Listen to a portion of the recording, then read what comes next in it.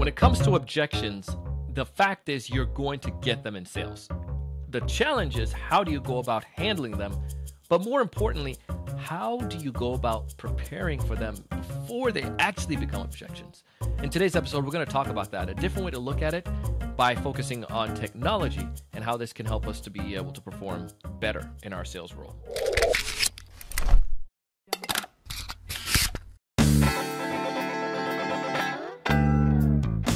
Hey, hey, hey, everyone. Welcome to another great episode of the Sales Evangelist Podcast. I'm your host, Donald C. Kelly,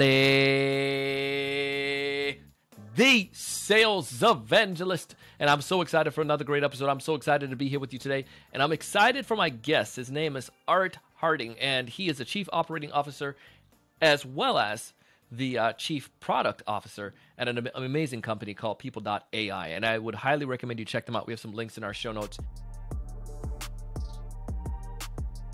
One of the things that I'm really excited to talk to you about is this notion, though, of digital transformation. Can you like highlight that to us, like what exactly that is, and and maybe how does that you know coattail in what we're doing right now or seeing when it comes to sales or or you know going you know some of the things we might face when it comes to objections later on. Sure. You know, digital transformation is one of those words that I think our eyes sort of roll when we hear it. Like, oh, we've been talking about this for a long time. We've been selling this to everybody. I know the Uber story. I know the Netflix story. Come on, Art. What's what's the new news? Um, I think we might have missed uh, a little bit of the of the storyline as we've watched and sold digital transformation, particularly within the B two B tech space. We've been preaching um, digital transformation which can lead us to thinking it's about technology when at the end of the day i actually really believe that digital transformation is not a technology play. It's a customer experience buyer experience reimagining their journey with us as vendors and then using technology to actually unlock that experience for them. Um, and why this is important is while we've been selling digital transformation to non-digital companies I believe the digital transformation movement is now impacting us internally in terms of how we market, sell, and service our customers. Whether you're a digital company or not, um, the way we market, sell, and service our companies is changing. Um, it has already started and is going to continue to change in the future. When we do interact with people, that that human experience suddenly becomes much more amplified. So when we talk about doing discovery calls to understand what outcomes we want to drive for a customer, and our job is to collect objections.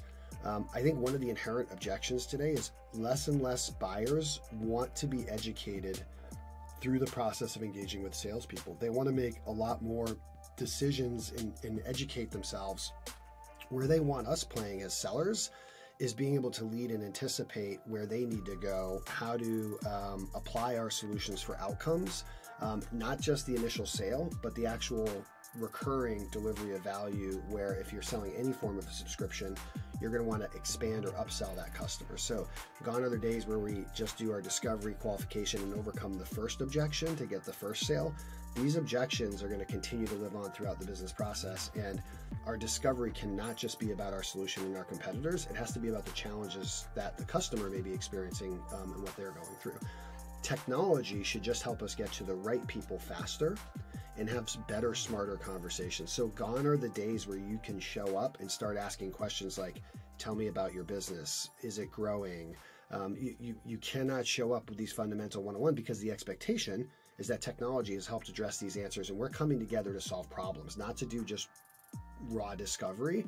Um, so it's actually raising the bar in terms of our responsibility as sellers. There, there's an implicit investment, to your point, on all of the sharing that people are doing by this data that's flowing through, you know, the the economy now we have a responsibility to make smart use of it, not only from a compliance and regulatory perspective, but also in terms of delivering that customer experience to your point. They expect me to show up informed about their business. They expect me to understand what their initiatives are. They've been sharing them, often very publicly. What they want to know is how do you take what you're selling to help drive that next outcome for them?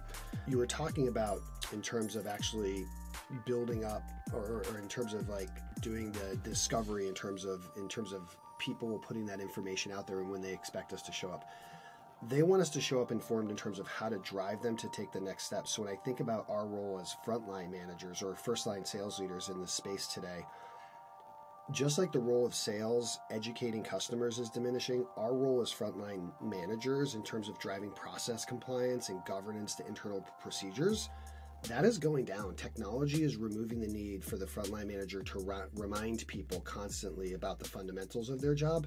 And what that's doing is creating space where now, as frontline managers, we should be leaning in with the people who sell for us and work with us to understand what have you learned about your customer already before engaging with them what do you plan to learn more when you engage with them, and how are you going to lead that conversation forward? And it's going to be very difficult for our teams to be better than we are as frontline managers. And we need to move off of our, jo- our, our mindset that our job as managers is to remind people of what to do, remind them of our sales process, remind them of our internal way of doing things. And because that's no longer as much of our job, how do we now spend more time anticipating objections we might get? Or when we get an objection, what sort of multi-threading discovery do we have to do in an account to, to verify that objection before we start, you know, pitching against it, things like that. Art, you came and you delivered what we asked and more. Um, I think we have a better understanding about digital transformation, how this tie back to objections, and what we can do to move forward as a sales leader or a sales rep. Um, if folks want to get in touch with you because they found your stuff insightful or to learn about your organization a little bit more, what's the best way for them to connect with you? Sure. Um, I'm always on LinkedIn, uh, one of the greatest you know, business communities out there for us all to connect. Or you can also find me at art at people.ai or reach out to your uh, local people team. This is all we talk about at People AI is the future of sales and marketing and how to make better sellers even greater. That was Art, my man. He came and he came, he saw, he delivered, and he brought more than I asked for. He just delivered some good stuff. And the best piece about this is that you, as the listener, all you have to do now is just apply it to see the results. I mean, it's not too complicated. If you want to go check out their tool as well, it's amazing. People.ai. You can find more information in the show notes about them. And I highly recommend you connect with Art on LinkedIn. He uh, he is again the people I talk to on the podcast, they're all personable. I'm not going to send you to people who are just going to be, you know, jerks. So check out Art. Tell him that you heard him on the Sales Evangelist podcast. You'll be grateful for that. As always, I share stuff like this. I bring on folks like Art. We talk about content like this. We bring sponsors to you that can benefit, that can help you out because I want you to find more of your ideal customers. I want you to know what to say when you reach out to them. I want you to close more deals. But most importantly, I want you to go out and do big things. Thanks so much for watching.